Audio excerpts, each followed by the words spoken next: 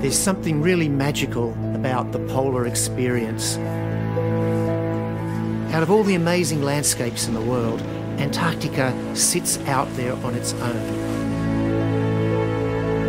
No matter how many times I've been here, it's just always a fantastic thrill.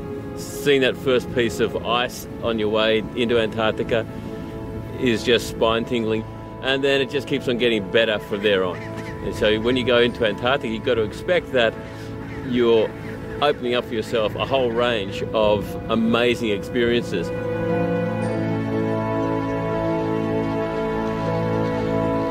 For me, as somebody who works on the ship, what I love is the fact that I'm working with a specialist team of people. We're all incredibly enthusiastic about what we do, about being in Antarctica and showing, but also Antarctica that we love to the people who come with us. And Polar Pioneer is fantastic for that.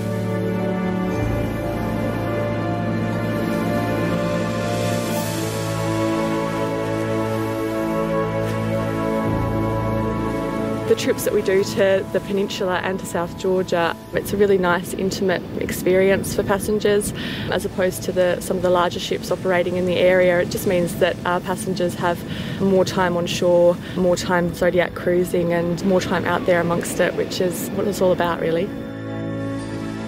Our zodiacs are very versatile and, and the interactions that you have with the wildlife in a vessel like that are you know, quite extraordinary whether you're actually landing and being right there next to a penguin rookery or you know doing a zodiac cruise along a beautiful coast. People get blown away by the abundance of penguins wildlife. will come you up to you. on a beach in South This has got to be one of the most amazing spectacles on Earth. One of the largest king penguin rookeries in the world. What we have here is a photographer's dream. To see a massed colony of penguins and beaches full of seals, it's actually amazing to see how vast nature is. And it's not just about nature and landscape. You're going to see the sun and the moon in the sky together, setting and rising.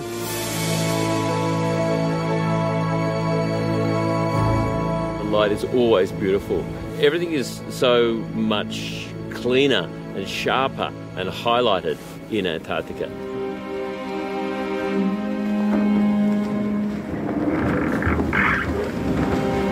Pushing through pack ice and watching the nose of the ship just break apart the history chunks of ice. There's something like that's being revealed back. in that process that I really love. And people find mesmerizing. People stand on the bow of the ship looking down at that process for hours sometimes.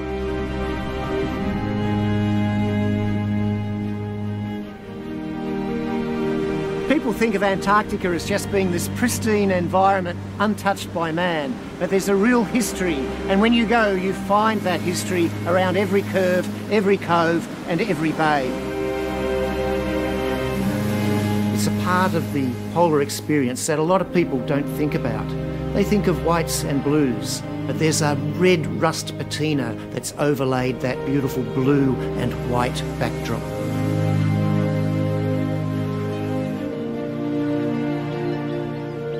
What I love about it so much is that the landscape is always changing, still landscape, and you know it being really quite wild and dramatic. The light, the wildlife, the ice, you know the sunsets. It's just yeah, pretty magnificent.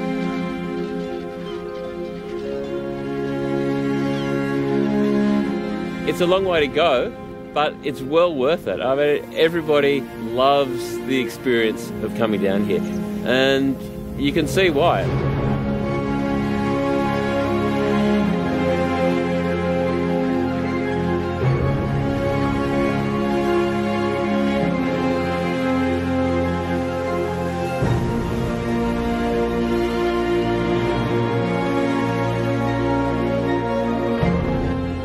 I love this part of the world.